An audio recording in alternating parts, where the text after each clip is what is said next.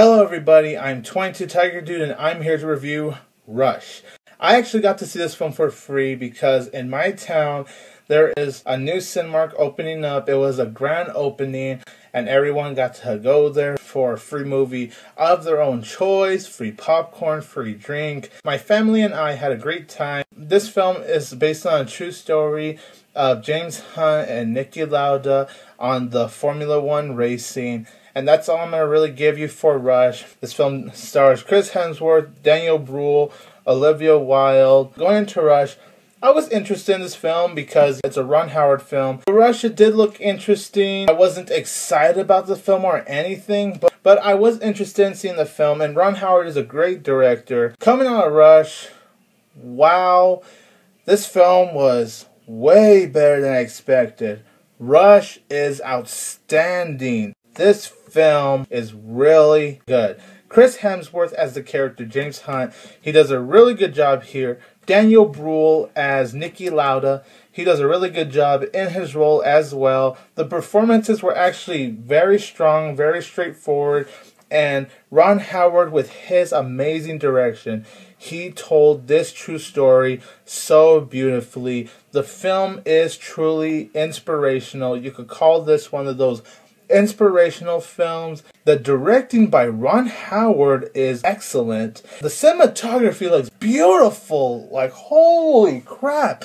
I gotta say, this is one of the best cinematographies I've ever seen. From the first scene to the very end, the cinematography has blew me away especially when it gets to the racing scenes. Like, holy shit, the racing scenes looked really good, and it has to be some of the greatest racing scenes I've ever seen. Just how Ron Howard filmed it, and I love the slow mo Ron Howard used for this film. There were a few times where it was a bit pointless. That would be one of my flaws right there. But the majority of the slow mo he used, especially when it comes to the racing scenes, wow, I gotta say, it blew me away. It just looked beautiful and it really fit the story so well. I just love those sound effects as the racing was going on. I love the sound effects that was used in the racing scenes. It was so brilliant. It was so mesmerizing. I I couldn't breathe as I was watching this film. It got better and better as it went on. The film hasn't lost me for the most of it. My only flaws with Rush, I gotta say, is that, like I said, the slow mo Ron Howard uses a few times. It is a bit pointless, but most of the time he uses the slow mo really fits the story, and I didn't mind that because it was awesome. Chris Hemsworth, there's this plot where he is a womanizer and that was actually one of my worries when I went to Rush. I was worried that they were going to use it a lot and that was going to distract from the story. But luckily, they only do it a few times.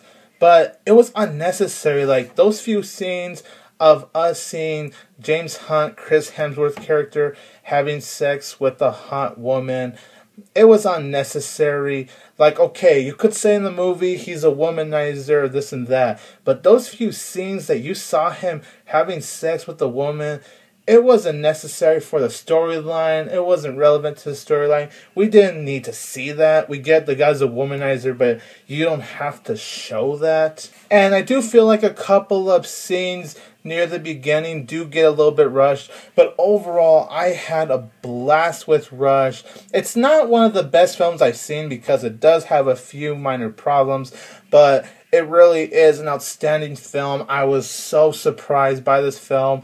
I didn't expect it to be this amazing, but it really is a really good experience. It was so inspirational, very great performances, very great racing scenes. Some of the greatest racing scenes I've seen in film history. I really do mean that. I was so sucked into racing scenes. I love the slow mo that was used in there, and I love the sound effects that was used in there. And once Rush gets to its ending, it just makes you want to clap and cheer. Clap and cheer. It's a beautiful film to watch.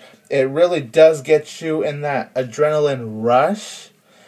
Olivia Wilde, she's not in this film that much, but she does do give a solid performance for the part she was given. Rush really is outstanding.